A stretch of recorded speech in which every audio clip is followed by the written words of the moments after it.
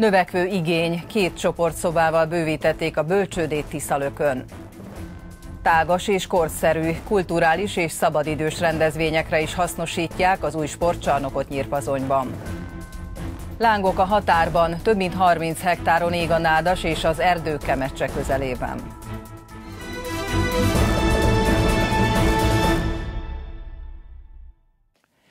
Egyre több bölcsőde épül szabolcs bereg megyében a múlt héten Nyírbátorban és Mária Pócson rakták le két új intézmény alapkövét, pénteken pedig a bővített és felújított Tiszalöki bölcsődét adták át.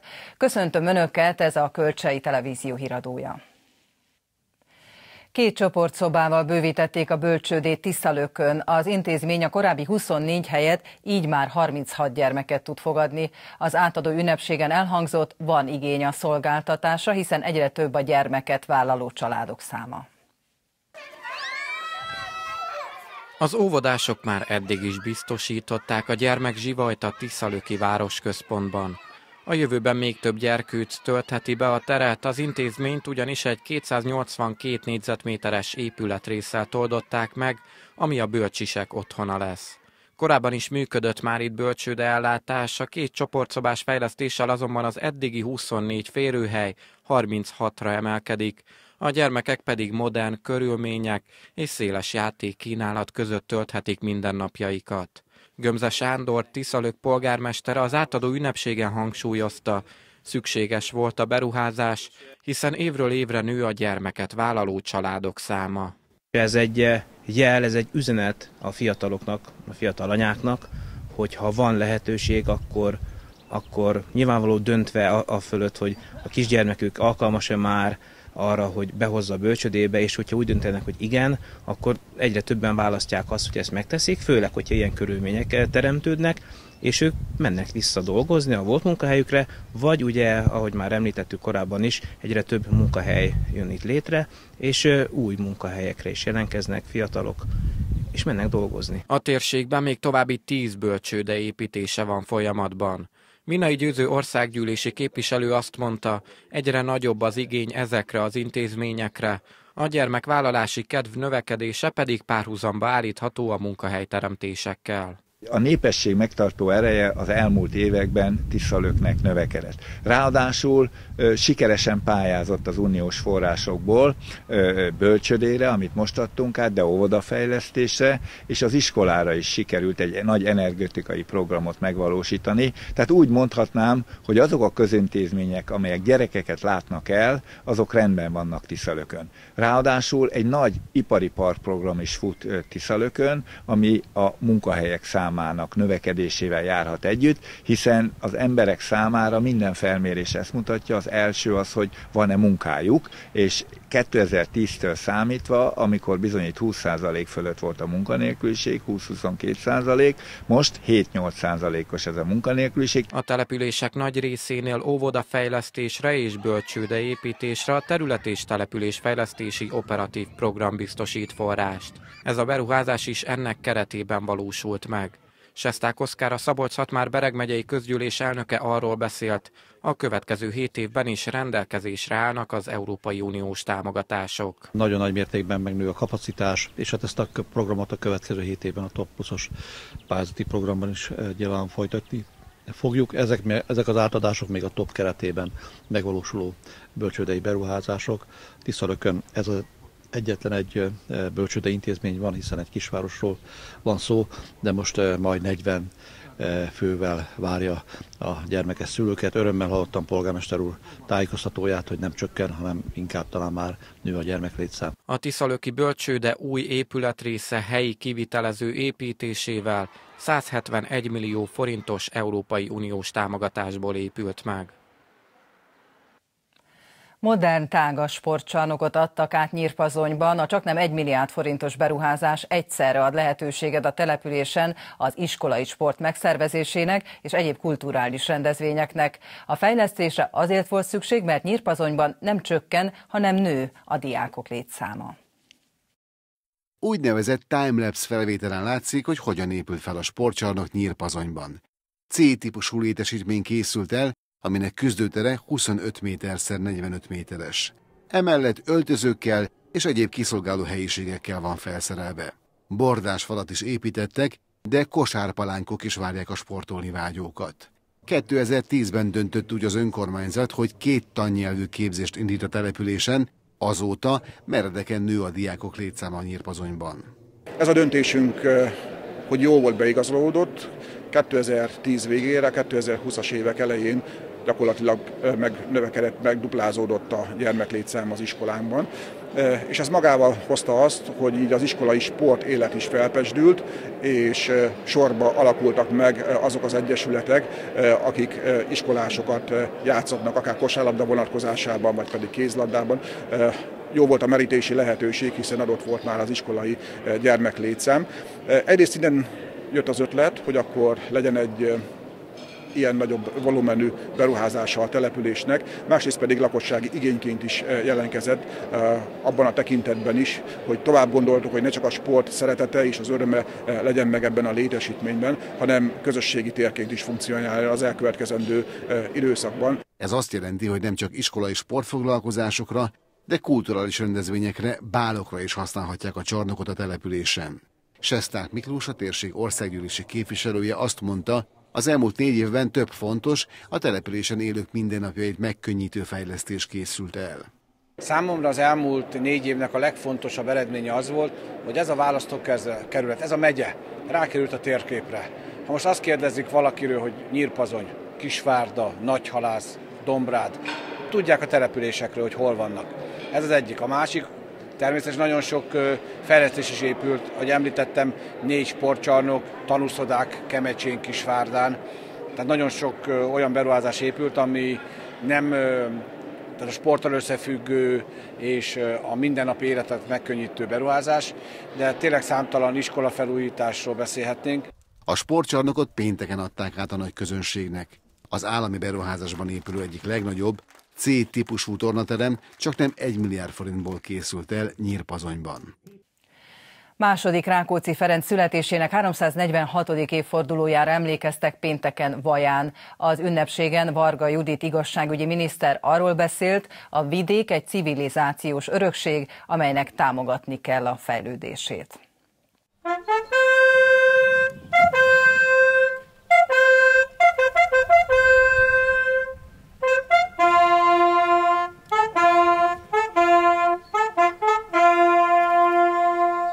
Rákóczi tárogató együttes is közreműködött a pénteki ünnepségen Vaján, a magyar történelem egyik legfontosabb és legismertebb alakjára, második Rákóczi Ferencre emlékeztek. A magyar főnemes 346 évvel ezelőtt, 1676. március 27-én született. Két nagy magyar család, a Rákóciak és az Rényik hagyományát és értékrendjét örökölte, ez hajtotta nemes cselekedetei során.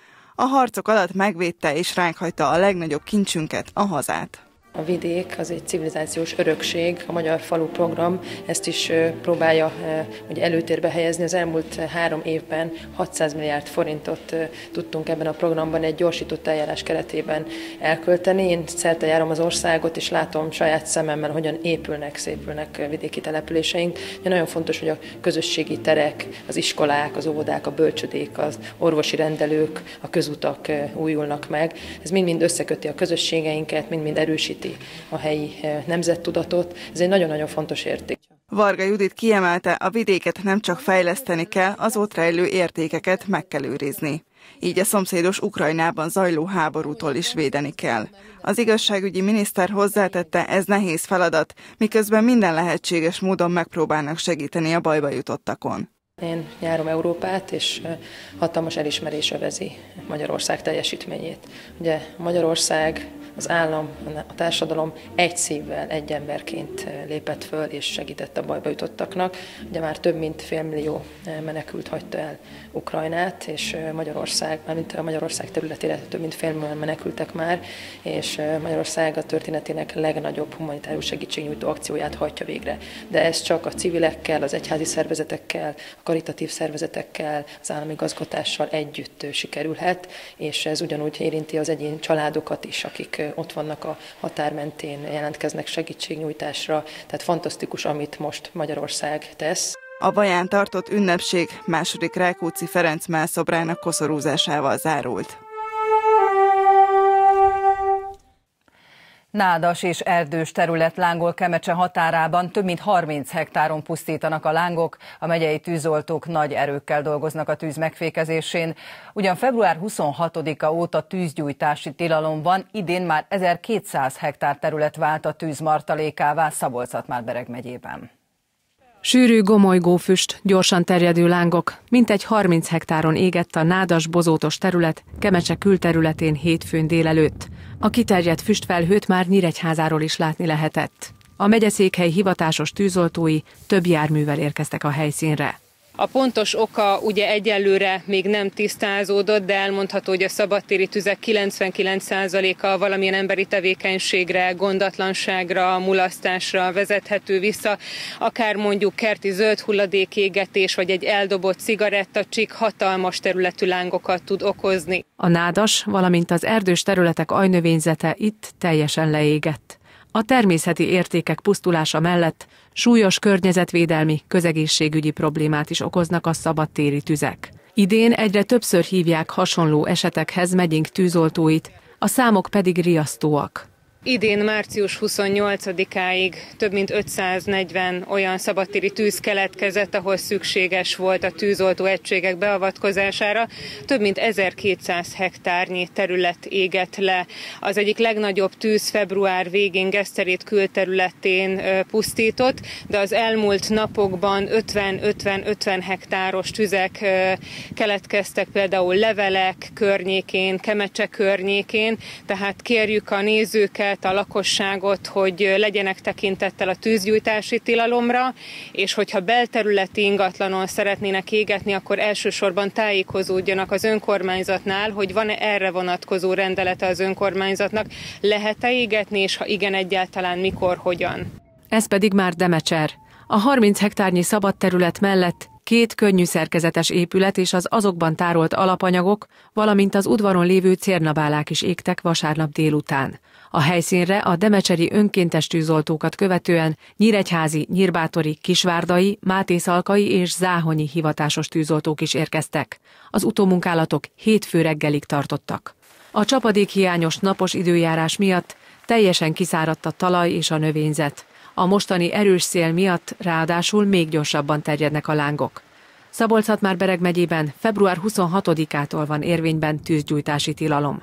A parlag és a gazégetés is tiltott, valamint a kijelölt tűzrakóhelyek sem használhatók. Az érvényben lévő tűzgyújtási szabályokról a www.erdőtűz.hu vagy a www.katasztrófavédelem.hu honlapon elhelyezett térképen lehet tájékozódni. Magyarország érdemes díjat vehetett át Pregicer Fruzsina, a Móricz Zsigmond Színház társulatának színművésze. Pregicer Fruzsina több mint 30 éve tagja a Nyíregyházi társulatnak, de az egész ország ismeri őt olyan közkedvelt sorozatokból, mint a Kisváros vagy a Szomszédok.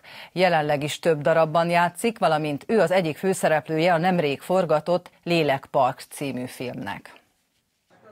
Pregicer Fruzsina színművészi pályáját a Nemzeti Színházban kezdte, majd 1990-ben a Móricz Zsigmond Színházhoz szerződött Nyíregyházára, ahol jelenleg is a társulat meghatározó, karizmatikus művésze. Színészi pályája során a Domján Edith és Jászai Mari díj mellett számos szakmai elismerésben részesült. 2021-ben a Magyar Művészeti Akadémia rendes tagjává választották, 2022-ben pedig értékteremtő munkája elismeréseként Magyarország érdemes művész díjban részesült. A színésznő számára a művészet és a hivatástudat nem állt meg a kőszínház falainál. Tájelőadások százait vitte és viszi a mai napig töretlenül határon innen és túlra, legyen az önálló est, vagy épp zenés vers színház.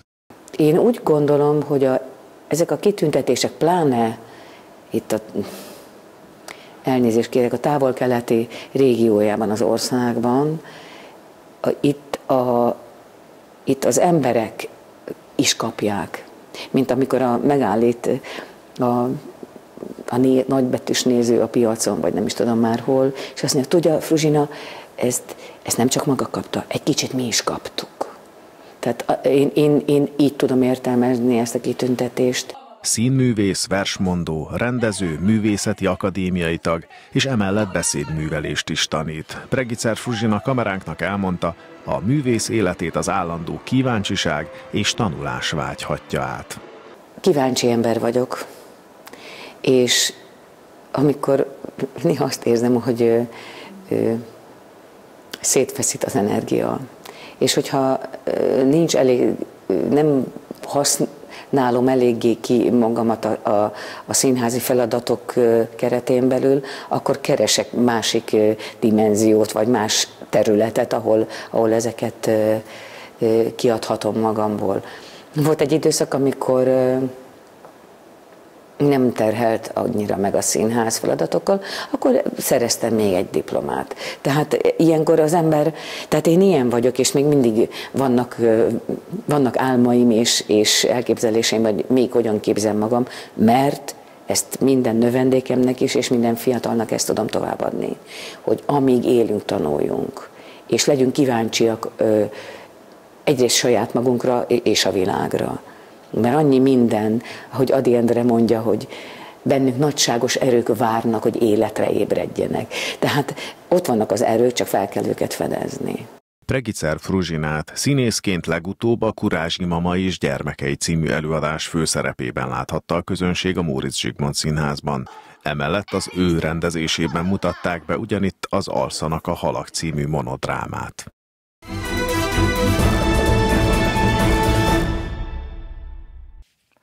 Verességgel zárta az alapszakaszt a Hübner Nyíregyháza Blue Sharks. A kék cápák az NB1A csoport 26. fordulójában a Szombathely csapatát fogadták, és a vendégek 90-77-es győzelemmel távoztak a Continental arénából. A Nyíregyháza az alsóházi rájátszásban folytatja, előtte azonban még csütörtöktől a Magyar Kupa 8-as döntőjében szerepel Debrecenben Pető Ákos együttese. Jól kezdték a meccset az élovas ellen a cápák, az első negyedet végigvezetve 6 ponttal nyerték a hazaiak.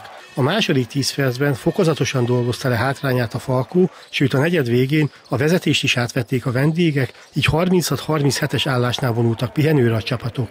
A nagy szünet után más sebességre kapcsoltak a szombathelyiek, percek alatt 10 pontos előnyt építettek, amit még növelni is tudtak a negyed végéig. A záró játékrész már csak formalitás volt, a Falkú jól gazdálkodott előnyével és 13 pontos vereséget mért Pető Ákos együttesére. Bár a Falko a úgy gondolom, a legponterősebb csapat a bajnokságban, de a legjobb védekezése van, és abból indul nekik minden. Ezzel úgy gondolom, hogy az elején fogást tudtunk találni, viszont a másik negyed végétől, illetve a harmadik negyedben tényleg felőröltek minket, tehát olyan, olyan fizikalitással és olyan intenzitással, amit, amit ők tudnak, és a bajnokok ligájában is ehhez voltak szokva, és ott is kamatoztatták. Nagyszerű szezont futnak, nem hiába nyerték meg ilyen fölényesen az alapszakasz, ennek ellenére úgy gondolom, hogy egy darabig partiban voltunk, voltunk velük, azokra az időszakokra lehet építeni, viszont ahogy, ahogy Zó is elmondta, tehát egy ilyen jó csapatot közepesnél egy picit jobb játékkal, vagy közepes játékkal nem lehet megverni. Úgy gondolom, hogy sikeres alapszakaszunk van, tehát abszolút ezzel a kilenc győzelemmel úgy gondolom, hogy nem sokan számoltak évelején. A vendégek edzője is elismerően szólt a Nyíregyháza teljesítményéről, hozzátéve jelentősen fel kellett javulniuk a második félidőre ahhoz, hogy megszerezzék a győzelmet. Very soft defensively, offensively. Nagyon puha védekezéssel kezdtük a mérkőzést, már pedig jó védekezés nélkül nem tudtuk elkapni a ritmust támadásban sem. A Nyíregyháza jól támadó csapat, különösen hazai pályán. Amikor a harmadik negyedben változtatni tudtunk, könnyű kosarakat szerezhettünk, elkaptuk a ritmust, szépen járattuk a labdát. Örülök, hogy el tudtuk osztani a játékperceket, így mindenkit frissen tartottunk a Magyar Kupára. Gratulálok a Nyíregyházának, mert pozitív meglepetés ennek a bajnokságnak. A forduló további eredményei a következők, Oroszlány Szolnok 69-70, Zalaegerszeg Sopron 85-84, Debrecen Kecskemét 86-93, Kaposvár Körment 87-61, Pécs atomerőműese 69-67 és Albafehérvár Szeged 90-81. Az alapszakasz a Szombathely nyerte 23 győzelemmel és 3 vereséggel. A Nyíregyháza 9 győzelemmel és 17 vereséggel a 12. helyen végzett. A kékcápák az alsóházi rájátszásban folytatják, a Zalaegerszeg, a Pécs és a Paks társaságában. Előtte azonban még a csütörtökön kezdődő Magyar Kupa döntőben lép Debrecenben Pető Ákos együttese. Március 28-án hétfőn a Kölcsei Televízió híradóját látták, jön mindjárt az időjárás jelentés, friss hírekkel pedig holnap este is várjuk majd Önöket. Megköszönöm figyelmüket, viszontlátásra!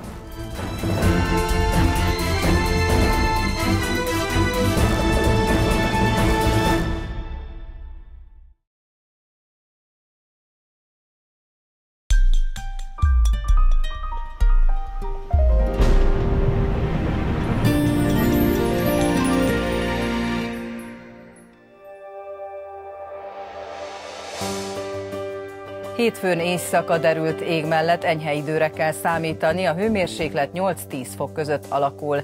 Kedden napközben igazi tavaszias időjárás várható, délután 20-23 fok is előfordulhat. Eső nem valószínű. A hét további részében marad a tavaszi időjárás délutánonként 20 fok körüli hőmérsékleti értékekkel.